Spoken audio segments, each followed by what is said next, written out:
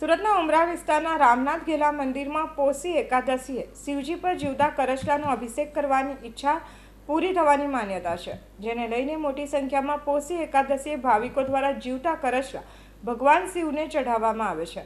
આની પાછળ એક પૌરાણિક માન્યતા જોડાયેલી છે. કહેવાય છે કે અહીં ભગવાન રામ વનવાસ દરમિયાન રોકાયા હતા. જે બાદ તેમણે પોતાના કમાનથી શિવલિંગ ઉત્પન્ન કરી અહીં પૂજા અર્ચના શરૂ કરી હતી. બાદમાં ભગવાન રામને પોતાના પિતાના અવસાનના સમાચાર મળ્યા હતા. જેથી ભગવાન રામે અહીં પિતૃ તર્પણ વિધિ કરવાનો નિર્ણય કર્યો હતો.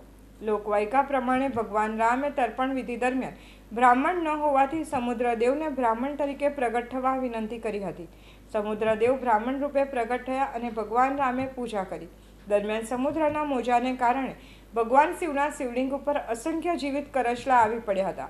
ત્યારે ભગવાન રામને સમુદ્રદેવે કરશલા જેવા જીવોનો ઉદ્ધાર કરવા વિનંતી કરી. ત્યારે ભગવાન રામે અહીં શિવલિંગ પર કરશલા ચઢાવવાથી કાનની રસી જેવા રોગો કોઈને હોય તો દૂર થશે તેવા આશીર્વચન આપ્યા. અને ત્યારથી આ જગ્યાનું નામ રામનાથ ઘેરા પડ્યું અને ત્યારથી દર વર્ષે પોષી એકાદશીએ હજારો ભક્તો અહીં આવે છે અને તેમની માનતા પૂરી થતાં કરશલા ચડાવે છે અને તેમની માનતા પૂરી કરે છે.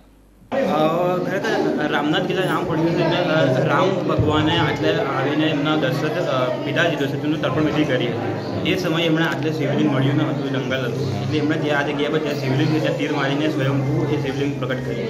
એ જ સમયે, ભરતીના સમયે ત્યાંના જે બધા જીવ છે, બધા કરસતા છે, આવીને ત્યારે ચડી ગયા. ત્યારે એમને એક વિચાર આવ્યો કે આ જીવોને એમણે ઉદ્ધાર કરવો ત્યારે એમણે વિચાર્યું કે, આ જ દિવસે પોષપદ એકાદશીના દિવસે કે જે પણ આ કરસલા આટલે ચડાવશે રામનાથ કિલ્લા મહાદેવને. તો એમની કાનની રસી કોઈ પણ તકલીફ હશે તે દૂર થશે.